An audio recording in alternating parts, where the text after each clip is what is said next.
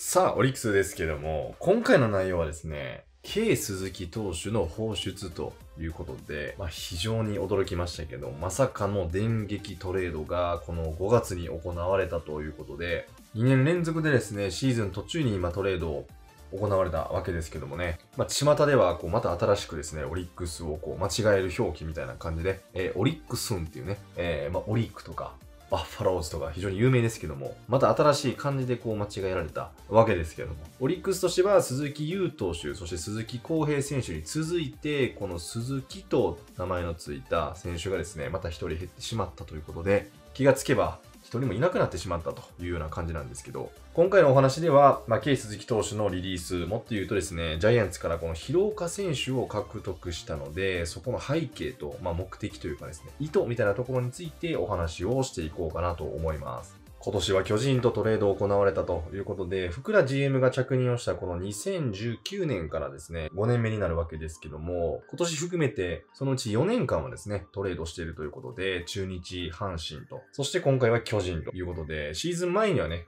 石川選手を日本ハムから獲得してっていうのがあったんですけど、シーズン途中に関しては、この福良政権、福良 GM が就任してからは、ウエスタンリーグのチームとね、トレードすることが多かったので、まあ、日頃からですね、2軍の試合をしている相手の方が非常にこう観察しやすいっていうのでね、僕も注目してたんですけど、まさかのイースタンのジャイアンツであったということでございます。去年は後藤選手をリリースして、ついにドラフト1位の選手をね、リリースしたか、みたいなことが言われてましたけど、今年に関しては K 鈴木ということで、今年から表記をね、鈴木投手って言ってますけど、まあ、オリックスファンの中にはもう K 鈴木で定着しちゃってるんじゃないかなと思います。彼もドラフト2位の選手ですから、2年連続で上位指名の選手をリリースしたというような状態でございます。ケース月投手に関しては、今年はですね、オープン戦ではですね、ローテ争いということで、村西投手であったりとか、ニックス黒木投手らがいる中で、なかなかちょっと厳しくて、今年はね、1軍で今のところ登板はしていないんですけど、中継ぎでもね、まあ、苦戦をしているという状況でございました。まっすぐの威力が非常に強いということで、中島監督の好み通りにですね、まあ、剛腕というか、速球派の選手だったんですけど、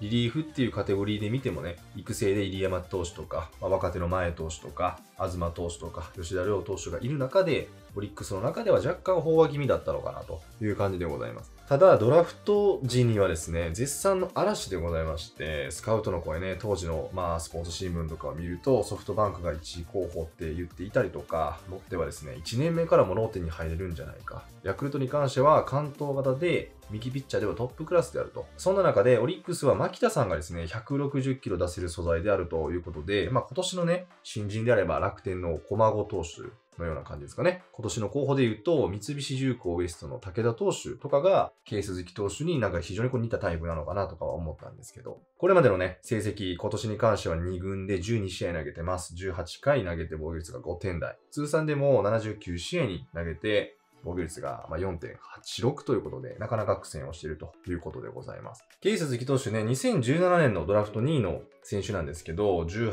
19、20、21、22、23と、まあ6年目になるわけですけど、その中でも、ひときわ輝いたシーズンっていうのは2019年と2年前の2021年になるのかなと思います。19年に関しては、ローテの一角ということで、オリックスね、その年おそらく最下位だったんじゃないかなと思うんですけど、まあ、山岡投手とか吉信とかがいる中で、榊原投手もいたかなと、アルバース先生であったりとか、ローテの一角としてですね、100イニング以上、まあ、投げてくれました。防御率は4点台前半ということでなかなか苦しかったわけですけど、その2年後ですね、配置をリリーフに移しまして、そこで一番活躍したんじゃないかなと思います。34試合に登板して2ホールド2セーブ、防御率3.03ということで、中島政権の下であればですね、リリーフとして、いつか勝ちパターンという形でね、オリックスにこう貢献してくれるんじゃないか。そんな変貌をね、まあ、見せてくれたわけですけども、まあ、今回ジャイアンツに移籍をしたということでございました。で、その移籍先のジャイアンツなんですけど、この広岡選手はですね、もともとは田口投手をリリースしてヤクルトから獲得した選手だったんですね。でその時のヤクルトが広岡選手をリリースした理由としても、まあ、投手が崩壊しているということだったので、田口投手が欲しいっていう意味合いで、ヤクルトからジャイアンツに渡ったわけなんですね。当時は1試合平均失点がセリーグで最低の数字だったらしくて、小川 GM が、まあ、投手陣の強化を優先したというふうに言ってました。広岡選手自身も素晴らしい存在なので、えー、ジャイアンツとしてはね、田口投手非常に惜しいですよね。ドラフト2位で2年連続2桁の経験もあって、中継ぎ適性もある、素晴らしい左ピッチャーだったんですけど、それ以上に、まあ、絶対的看板の、まあ、坂本選手の後継者を育成するっていうところを優先にして、広岡選手を獲得したっていう経緯がございました。今回、そのジャイアンツが今ね、投手が崩壊してるんじゃないかということで、かつてのヤクルトのような同じ状況でですね、今度はオリックスとトレードをしたというような状態なんですけど、今のジャイアンツはですね、12球団で最低の防御率と言われてます。中継ぎに関しては防御率5点台だというふうに言われてますね。この数字に関してはトレードが発表された日の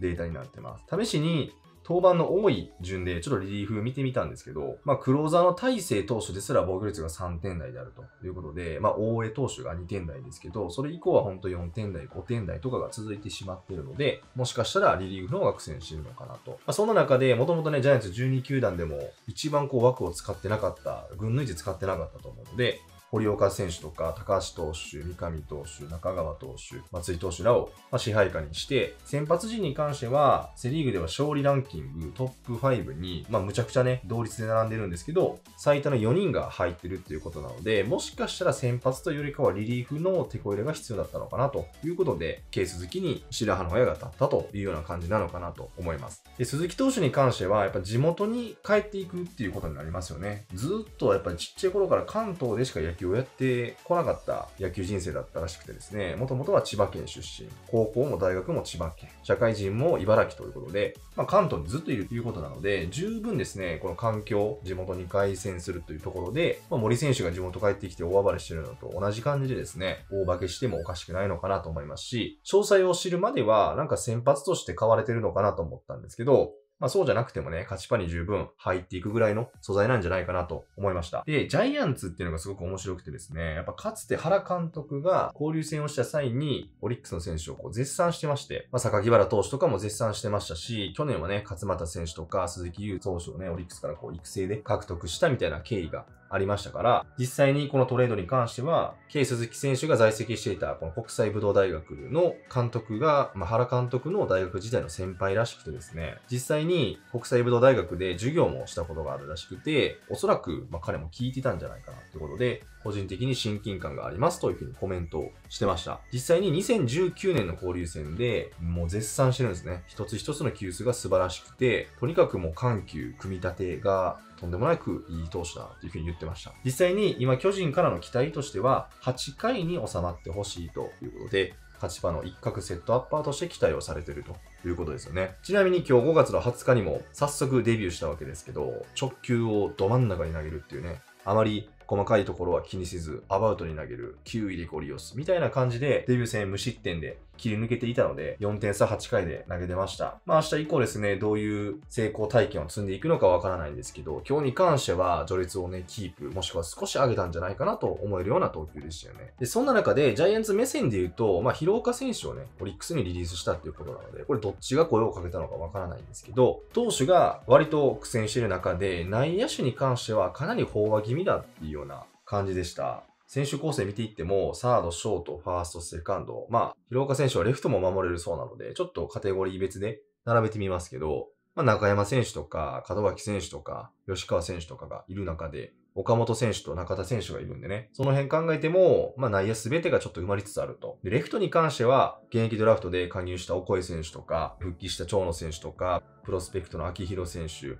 FA 選手の梶谷選手と、まあ、むちゃくちゃね、数がいるので、広岡選手としてはやっぱりジャイアンツとしてはなかなかチャンスをもらえないっていう状況だったのかなと思います。で、そんな中で、まあ、オリックスが獲得をしたわけですけども、そこの背景としては、去年のオフに、まあ、上野選手を育成で獲得したわけなんですけど、それでも2軍の内野手がかなり枯渇しているという状況なんですね。セカンド、ショート、サード、まあ、レフト、ファーストも守れる広岡選手ですけど、強みとしては逆方向にも強い打球を打てるのが持ち味だというふうに言ってましたが、オリックスとしてはバッティング面はもちろんそうなんですけど、それよりも守備のところですね。例えば大城選手が今年ね、FA 権も取得してますし、野口選手が思いのほかセンターが上手すぎるっていうのも発覚しました。サードに関しては、宗選手以外の、まあ、絶対的なこうレギュラーというか、特に右バッターのサードの選手は一人もいない。そして一軍選手の年齢を見てもですね、西野選手であったりとか、山内選手とか、同じタイプの選手が結構年齢が重なっている。そして、右バッター、内野も全部守れるってことを考えると、紅林選手とか野口選手らとの競争も煽ることができるということで、まあメリットだらけなわけですよね。ポジション関係なく年齢構成で野手ちょっと見てみたんですけども、やっぱりですね、ここ2018年ぐらいからですか、高校生を中心にドラフト路線をかなりガッと舵を切って変えてきてるので、これまでの社会人ドラフト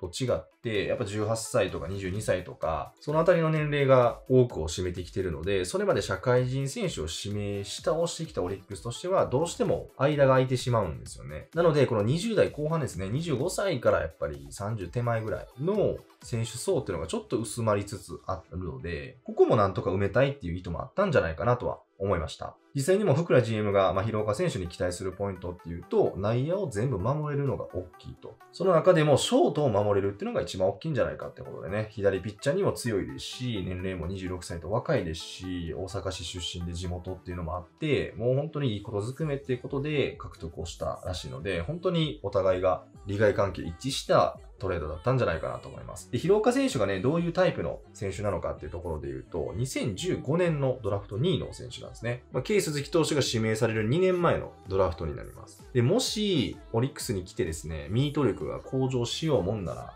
まあ、大化けする可能性っていうのは十分あるんじゃないかって言われてますけど、智弁学園からそのままですね、プロに入った選手でございます。まあ、2015年といえば、正隆を中心にラオウであったりとか、ヤクルトでも高橋奎一投手、まあ、オリックスに現役ドラフトできた渡辺選手とか、まあ、ジャイアンツで言うと中川投手とかですかね。オリックス竹安投手、石岡選手、西川龍馬選手、オコエ選手、今永投手らが、まあ、いる世代でしたけど、同じ年にドラフト2位で上位指名で入団をしたという選手ですね。オリックスの同級生で言うと、富山投手とか、村西投手とか、吉田亮投手とかが、まあ、いるんですけど、もう早速ですね、スコアラーの松井正人さんと顔がそっくりだっていうことで、ジャイアンツファンからはですね、直江投手もそっくりなんで、ぜひ混ぜてくださいみたいなこと言ってましたけど、ジャイアンツのね、投手陣の成績バッと見たときに、直江投手って結構いい数字だったので、ほんまにオリックス来たらええのになってちょっと思ったりはしたんですけど、同級生もちらちらといるというような感じですね。まあ、いずれにしても、オリックスとしては非常に珍しいこのイースタンとのトレードっていうことでね、シーズン途中なかなかなかったですけども、今年に関しては広岡選手、